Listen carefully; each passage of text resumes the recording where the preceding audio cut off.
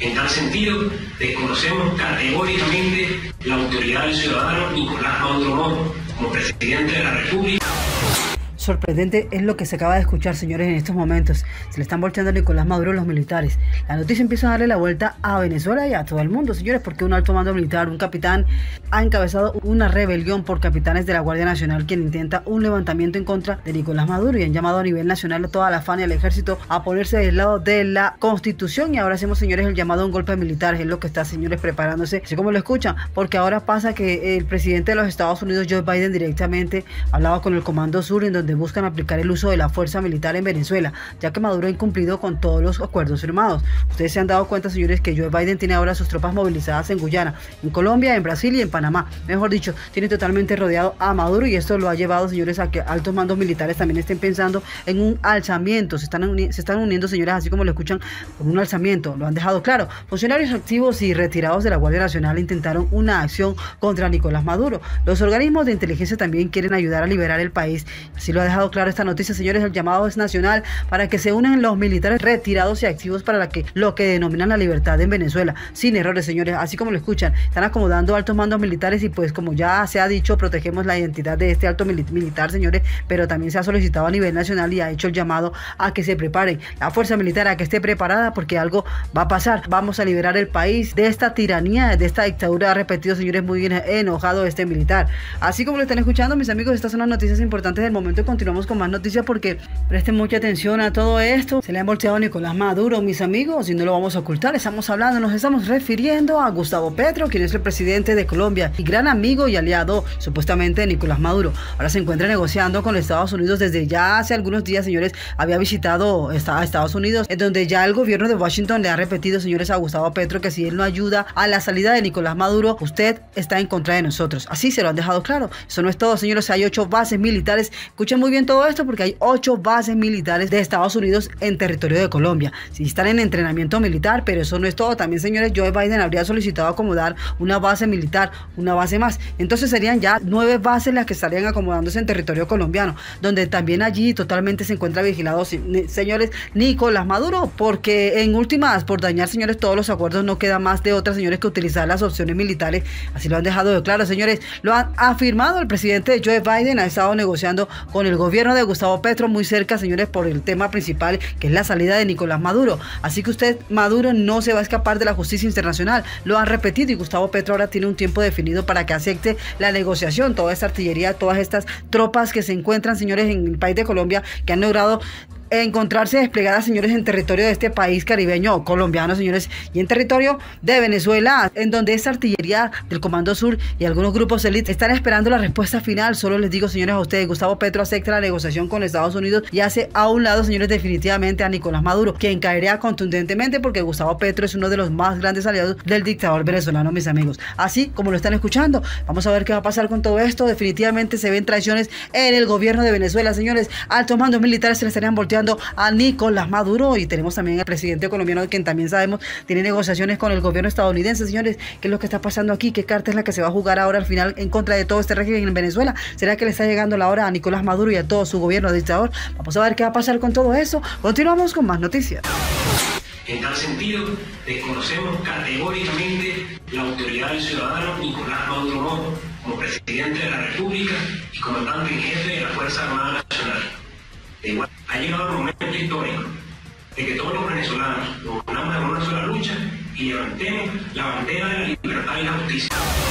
Bueno, y en otra información importante, sustitución de María Corina Machado no está en planes inmediatos de plataforma unitaria, así como lo escuchan. Determinar cuál ruta tomará la oposición venezolana ante la imposibilidad de inscribir a la ganadora de primarias en la elección presidencial del 2024. Mantiene la plataforma unitaria democrática en una encrucijada, señores. Por ahora se trabaja de presionar al gobierno de Nicolás Maduro y luego determinar si sería necesaria, si sería necesaria la designación de otro candidato. El triunfo de María Corina Machado en las primarias organizadas por la oposición aglutinada en Plataforma Unitaria Democrática, que la convirtió en abanderada de las elecciones presidenciales previstas para el 2024, así como la ratificación de la inhabilitación por parte del Tribunal Supremo de Justicia sin cumplir los procesos legales, impone nuevos escenarios a los actores políticos que buscan la salida del oficialismo del poder y la vía a la democracia. Por ahora, la Plataforma Unitaria está en una encrucijada para determinar cuál es la ruta a seguir y quién sería el sustituto de Machado en la candidatura presidencial, en caso de que se llegue a considerar esta alternativa. En un medio de comunicación, analistas políticos y miembros de la plataforma unitaria y el comando de campaña de Machado para saber si han discutido los nombres de los posibles sucesores si la candidata sigue imposibilitada para inscribirse en el Consejo Nacional Electoral. Tras fuentes de oposición aseguran que el tema ha sido abordado solo en las conversaciones informales porque el objetivo de la plataforma unitaria está centrado en que se levante la, la restricción contra Machado en incumplimiento del acuerdo de Barbados suscrito por el gobierno en la oposición en octubre del 2020 que establece un mecanismo para las inhabilitaciones, mis amigos, así como lo están escuchando. Continuamos con más información. El partido Corina Machado exigió el fin de la persecución política en Venezuela. 20 Venezuela expuso los casos de tres miembros de la agrupación sobre quienes pesan órdenes de captura por supuesta traición a la patria. Así que 20 Venezuela, el partido de la candidata presidencial de la oposición mayoritaria, María Corina Machado, pidió este lunes a través de las redes sociales el fin de la persecución política en el país, algo por lo que han responsabilizado al régimen de Nicolás Maduro. Con mensajes similares, la formación repitió en una de sus redes sociales la consigna basta de persecución, al tiempo que expuso los casos de tres miembros del partido sobre quienes pesan órdenes de captura por supuesta traición a la patria. El régimen busca criminalizar a quienes ejercen sus derechos políticos y civiles en pro de la libertad de Venezuela, expresó en una de sus publicaciones del 2020, las cuales fueron compartidas por otras organizaciones políticas que conforman la Plataforma Unitaria Democrática APUT, el bloque opositor que representa Machado. El partido recordó además que el pasado 6 de diciembre el fiscal general Tarek William Saad señaló a Claudia Marcero, Pedro Urruchurti y Henry Los tres con responsabilidades nacionales en 2020 por conspiración con una potencia extranjera, legitimación de capitales y asociación para delinquir. Aunque Saab dijo también que estas personas serían capturadas, todavía siguen en libertad. Macero, Ruchurti y Alviares son perseguidos por luchar por la recuperación de la democracia en Venezuela, insistió la formación política sobre esos tres colaboradores cercanos a María Corina Machado. La líder opositora espera que, por la vía de la negociación política, le, le sea levantada la inhabilitación que le impide hasta el 2030 competir por cargos de elección popular para poder presentarse en las presidenciales del 2024, previstas para el segundo semestre del próximo año. El pedido al Tribunal Supremo de Venezuela a la candidata presidencial solicitó el viernes pasado al Tribunal Supremo de Justicia revisar la inhabilitación que le impide competir para ocupar cargos de elección popular, sin avisar a medios de comunicación y luego de días evadiendo responder si acudiría al Supremo. La líder antichavista optó por apegarse al último minuto a este proceso de revisión de inhabilitaciones acordado entre el régimen y el mayor bloque antichavista, la plataforma Unitaria Democrática, cuya solicitud es acordado entre el régimen y el mayor bloque antichavista, la Plataforma Unitaria Democrática, cuyas solicitudes eran recibidas hasta ese día. A su salida del TSJ, Machado declaró ante un pequeño grupo de periodistas que, tras su presentación en el tribunal, ahora está la pelota del lado del dictador venezolano, Nicolás Maduro, a quien le corresponderá auguro decidir si cumple con lo pactado con la comunidad internacional para garantizar elecciones limpias en el 2024.